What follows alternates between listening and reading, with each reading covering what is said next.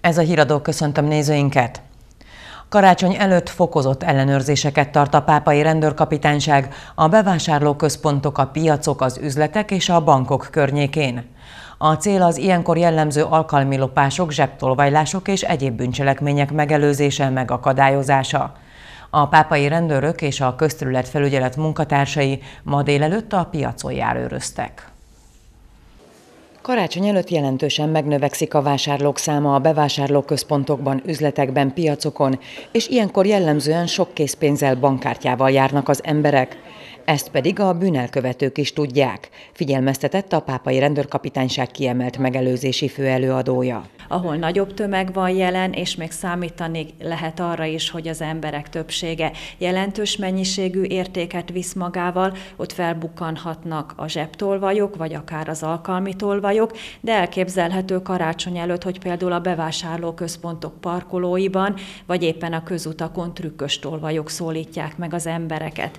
Az ilyenkor jellemző vagyon elleni bűncselekmények megelőzése céljából rendelte el a rendőrkapitány november 25-től január 15-ig a fokozott ellenőrzést. A fokozott rendőri ellenőrzés azt jelenti, hogy az állampolgárok mind a bevásárló központok környezetében, parkolóiban, vagy éppen az üzletek előtti sétáló utcákban, vagy a hétvégén az adventi esték időszakában az Eszterházi kastély előtt, de piacnapokon a piacokon, illetve a pénzintézeteknél, a postahivatalok környezetében, az üzemanyag töltőállomásoknál, vagy éppen a nemzeti dohányboltoknál fokozottan megjelennek, az üzleteket meglátogatják, megelőzési tanácsokkal látják el az üzletben dolgozókat, illetve az állampolgárokat is megszólítják. Egyrészt nekik is megelőzési tanácsokat adnak át, másrészt a gyalogos járőrszolgálat alkalmával is figyelnek arra, hogy az állampolgárok biztonságban legyenek. Ma délelőtt a piacon a pápai rendőrök a közterület felügyelőkkel járőröztek, de együtt dolgoznak a polgárőrökkel és a NAV munkatársaival is. A cél nem csak az állampolgárok védelme, nagy hangsúlyt fektetnek az illegális kereskedelmi tevékenységet folytatók kiszűrésére is. A szerzetesség miben létéről, a pápai szerzetességről beszélgettek tegnap este a Keresztény Értelmiségiek Szövetsége pápai csoportjának összejövetelén. A Szent Anna templom hittantermében Kerekes Károly Hubert Bencés szerzetes, dr. Herman István történész könyvtárigazgató és Mezei Zsolt könyvtárvezető folytatott diskurzust a témával kapcsolatban. A beszélgetést Salgó Ferenc kanonok plébános vezette.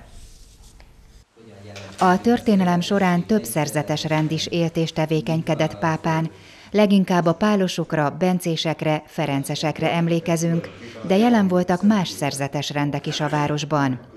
A kész összejövetelének nem véletlen volt a témája a pápai szerzetesség.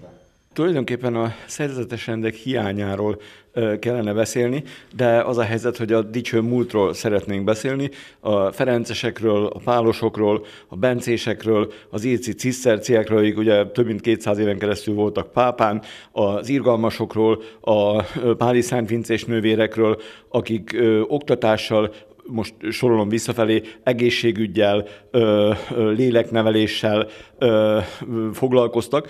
Érdekessége volt az összejövetelnek, hogy a beszélgetésben részt vett egy mai szerzetes is. A pápai származású Kerekes Károly Hubert 2001-ben állt be a Pannonhalmi Bencés szerzetes rendbe.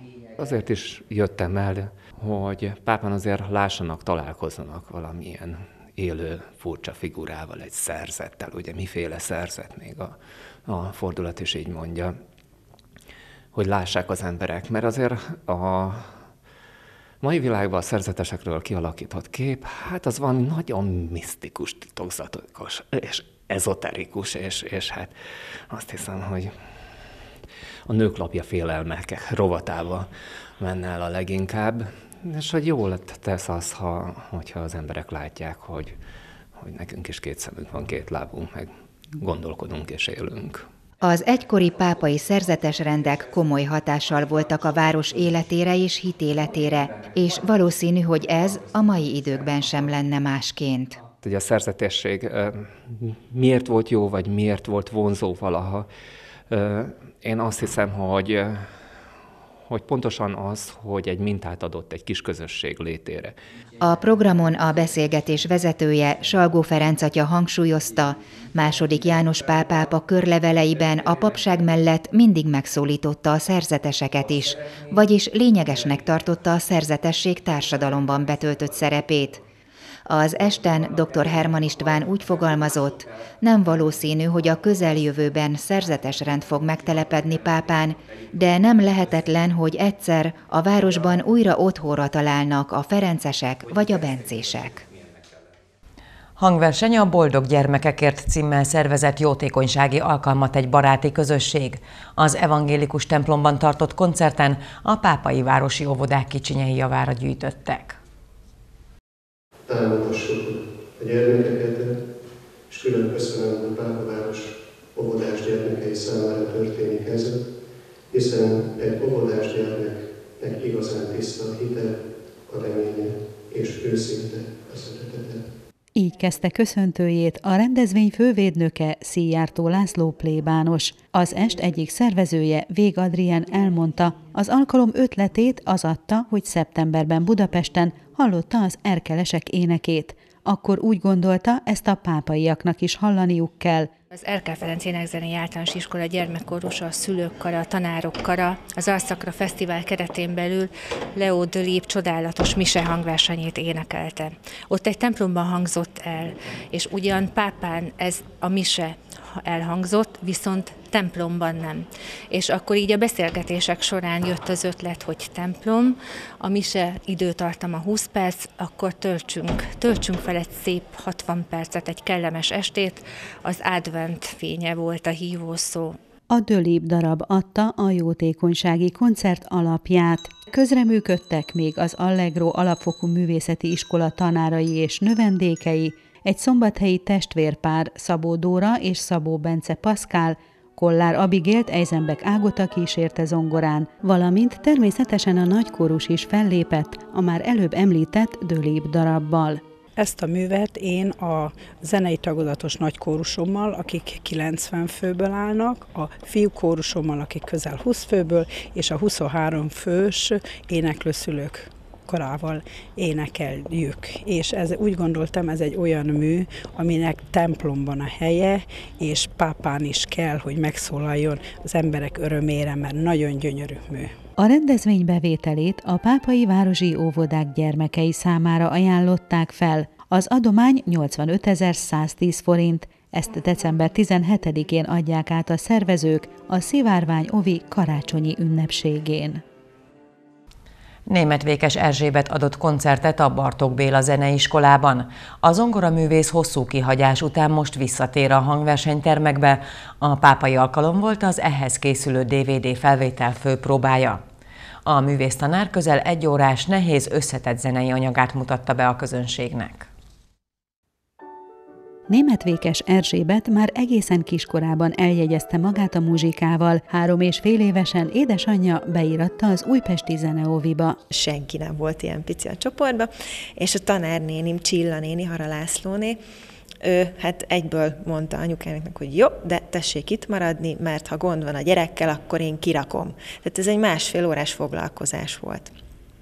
Hát édesanyám még persze rendes szülők módjára ott maradtak, de hát nem kellett kirakni, sőt, mindent én szerettem volna megválaszolni, úgyhogy, úgyhogy ott ragadtam. Hara László élet aztán a kisbözsi zongoratanára négy és fél éves korától, és ő biztatta, hogy jelentkezzen a Zeneakadémia különleges tehetségek tagozatára, ahova nyolc évesen elsőre felvételt nyert.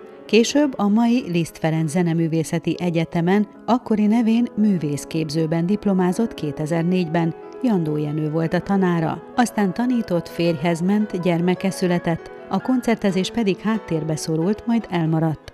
Most ismét szeretne visszakerülni a komoly zenei élet vérkeringésébe, ami nem kis feladat, sok munkával és tanulással jár. Kihívás, tanulás saját magamról, illetve ö, eljutni addig a pontig, hogy amit a négy fal között ki tudok adni magamból, a zenének azt a szeretetét, azt, azt nyílt színen is a közönségnek is át tudjam adni. A közel egy órás műsorban felcsendült többek közt Mozart rondó, Beethoven szonáta, valamint egy-egy Chopin, Bartók és Debussy darab is. Kedves nézőink, ezek voltak mai híreink, a folytatásban pedig a hétvége várható időjárásáról hallhatnak.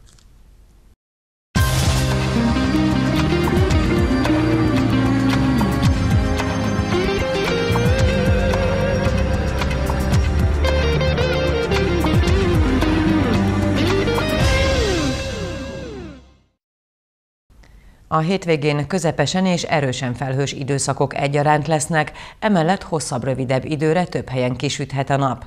Számottevő csapadék nem valószínű. A legalacsonyabb éjszakai hőmérséklete a következő két napban plusz 2 és mínusz 3, a legmagasabb nappali hőmérséklet pedig plusz 4 és 10 fok között várható. Kedves nézőink, ez volt a Pápavárosi Televízió híradója pénteken. Ne feledjék, műsorunkat egy óra múlva megismételjük, és megtekinthetik honlapunkon is. Viszontlátásra!